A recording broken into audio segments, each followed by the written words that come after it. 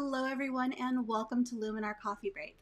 I'm Angela Andrieux, and today I want to talk with you about using Lightroom with Luminar AI. So, some of you who use Luminar AI, you use it as a plugin, and Lightroom is your home base. And there's several different ways that you can work between the two programs, and the most uh, prevalent, that's the word I was looking for, is to use the Luminar AI plugin for Lightroom Classic. And it's a great tool, and that's how I primarily use it. But if you are a photographer who does several images in a series and you want everything in that series to have a cohesive look and feel, and you're pressed for time and you're looking for an efficient workflow, sometimes using just the plugin isn't the best way to go. So I'm going to give you a couple of different workarounds today that you can give a try, and hopefully those will help speed up your workflow. These are great tips for if you're a portrait photographer and you have an entire series of photos, if you're a product photographer, anything that requires you to go through and do a whole series of images and you want to get through them quickly and efficiently. I want to take a moment and say hello to Pat and Joseph. Glad you guys are able to join me today. Let's go ahead and get started. All right, so I have a folder up here on my computer. Um, I'm in Lightroom, Lightroom Classic, and I have a series of images all from the same photo shoot. I want to process these images so they all have a similar look and feel so I can deliver them to my client. Now, when you're using the plugin, the typical workflow is to go to right click on your image, go to export, and then go up to Luminar AI, and you can choose to edit a copy with Lightroom adjustments or open the source files.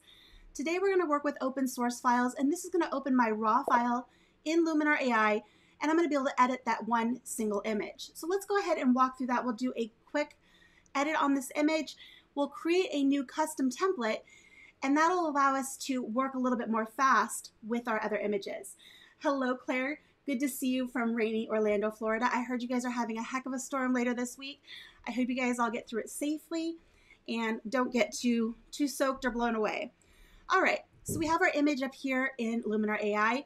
I'm going to go to the influencer category, which is in for this photo. It's a suggested pack of templates for this image and choose that pack. And I'm going to go down to Cozy Den. And I really like the warmth and the atmosphere that this template creates in this image, but I want to make a few other changes just to refine the look. And that way I can use that particular template on a series of images. Now I'm going to go over to edit and I'm going to begin by going down to the film grain and you can see which tools are used because of the little dot next to each tool. I'm going to go to film grain and I'm going to turn that off. I typically don't like to add grain to my images, so if I see a template that adds that, I like to go in and usually remove it. To me, it doesn't add much, but you do you. Uh, the next thing I want to do is go up to our glow tool, and I want to brighten this up and give it a nice soft glow. So let's go ahead and bring this amount slider up. We'll take a look at what that does. We're in soft focus, and we can kind of audition some of these different types of glow that we have available and see which one works best. Uh, see, Orton is nice. But I really like, for this particular image, I like Orton Effect Soft. And now I'm going to go down in my advanced settings and I'm going to adjust the brightness down just a tiny bit. And we can adjust the contrast to see what makes this look better. I think a little bit of additional contrast looks nice. And we can even warm that up a tiny bit. So that looks really, really good. Now I want to save this as a custom template that I can apply to other images. To do that, I'm going to go down to the ellipses button at the bottom and click Save. Now before I move on, I want to do one more thing to this image. If this was what I was doing, and what I mean by that is going one at a time from Lightroom, I'm going to make my adjustments here in Luminar before I go back into Lightroom. So I'm going to go up to my Composition AI. I'm going to do a quick crop on this and just straighten out this image. There we go. And I think that looks great. Now, before we go back over to Lightroom, you can see we can click the apply button and that'll take us straight back to Lightroom. But before we do that, I wanna go over to my templates. And you'll notice when we go back into my templates, we have a brand new Cozy Den edit. That's the template we just created. So I'm going to click on that ellipses, choose rename, and I'm gonna call this kitchen. If I can spell. There we go. All right, so now I have my second kitchen template. You can see I've created one before. If you add a template and you want to get rid of it, you can always click on that ellipses and click delete. So now I'm removing my old one and now I have my new one. All right, we're done with this image and now we can go uh, hit apply and this will take us on a round trip back to Lightroom. Once we're back in Lightroom, we have a couple of options. we can click the next image, apply our template, make any adjustments, and take them one at a time. And that's fine if you have five to 10 images, that's workable. If you have 50 or 100 images, or maybe even just 30, that can be really time consuming. So I want to give you a couple of options of what you can do to work through this a little bit faster. Let's see here. Claire said, more indoor time to work on photos. That's a great outlook to have when you have a hurricane headed your direction. So hope you get in some good indoor, tabletop, whatever you like to do, macro, all sorts of fun stuff you can do inside the house. All right, so now we're back here in Lightroom and we want to do something a little bit faster than taking these one by one. So I have these on an external hard drive um, um, that's connected to my computer. What I can do is actually go over to Luminar and I can point my Luminar catalog to that exact same folder. So you can see here's the one we just edited, that edit, and then all of the rest of these are my raw images. So what we can do is let's go ahead and um, I'm going to go back here to Lightroom here for just one second, and I'm going to go ahead and get rid of this one that we just did. I'm going to remove that and delete it from the disk. And that's going to make this a little bit easier and cleaner. You don't need to follow along with that step. That's just me cleaning up my own mess. Okay, so when we do this, I'm going to right click on this image and go show in Finder. And this is going to pull up the Finder on my, on my computer. You can see here's the kitchen folder. Here's all of our raw files. And that's the exact same folder that I have Luminar pointed to. Now what I can do is go ahead and grab that image, go to my templates. Let's give it a moment there to load. And now I can add that kitchen template that we just created. And voila, that image is edited. Now, because we have these all in our Luminar catalog, what we can do is go back over to the catalog tab and I can click on the one we edited, hold down my, this series is going to get that exact same treatment. That's really cool and that saves us so much time. Now, if any one of these images need to be tweaked, let's say for instance, these three right here are a little too warm. So I'm going to click on that one. We'll go over to edit and I'm going to, let's see here, Let's just scroll up to our light tool. And I'm gonna pull back a little bit on the temperature just to cool it off a bit. I think that works a little bit more closely with the other images in the series. And I'll go back to my catalog. Now, since I adjusted this image, these two here still need to be adjusted. Again, I can click this one as my source image, hold down my shift key to select all three of these, right click on this image, go to adjustments and synchronize those adjustments and that'll correct the white balance in these two images as well. And now you see we have a cohesive set of images. Now you can go in and work on each of these individually if you wanted to add some face, face light. So for instance, in this image here, their faces are a little bit dark and in the shadows, we can go over to edit and scroll down to our face AI, pull up a little bit of face light and that's going to light their faces a little bit better. And you can go through these images and make some of those fine tune adjustments that they might need. So I'm going to add a little bit more face AI here, a little bit more face light. And not every image needs this. It's just some of these ones where their faces are a little bit more in the shadows. It just wakes those little details up. So you can go through and correct these individually after you've gotten your look and feel finalized. You can even go through and crop, rotate, whatever you need to do. Now, the question is, how do you get all of these edits back to Lightroom? That's the big question, right? So what I like to do is go ahead, and I'm going to do a Command A, or you can do a Control A if you're on Windows. So Command A for Mac, Control A for Windows. That selects everything in your folder.